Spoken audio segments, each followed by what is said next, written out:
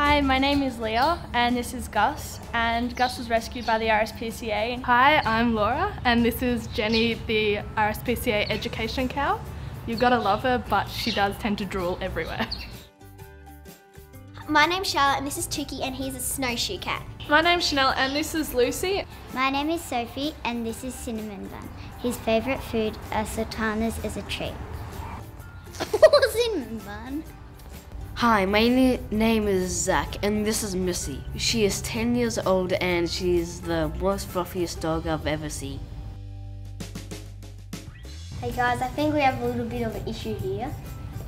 I like cats because they are very playful. They're always around for snuggles and everything. My favourite animal is an elephant because they're big and they've got big ears. My favorite animal is the Komodo dragon because it's a big and large animal and it's endangered as well. I like dogs because they don't do anything most of the time, but then when they're at the park, they do everything.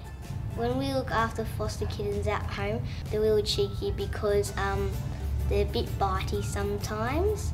Chino is one of the friendliest dogs I've ever met, but he's a little bit lazy. This is Chino, and he was an RSPCA dog, and he's one of the happiest dogs I've ever met. What I love about the RSPCA is that they take in nearly any kind of animal and um, usually make it better and find a good home for it. The funniest animal I've ever seen at the RSPCA is probably Jenny the cow.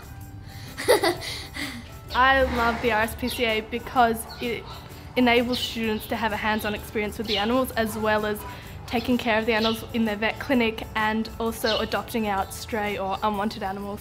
I like the RSPCA because they look after animals that need help. I like Missy here as well because, well, she's all fluffy, warm. When I pat Missy, she pokes her tongue out.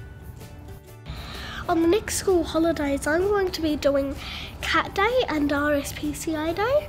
I really like the goats because they run around and they're kind of silly sometimes. The RSPCA look after the animals if they're sick and they make sure people are respecting the animals. The RSPCA teaches me how to look after animals properly and how to care for my animals and also teaches me a lot about animal breeds. The RSPCA has taught me how to love and respect animals. I really love them now. I really want so many more pets, but my parents will never let me have too many.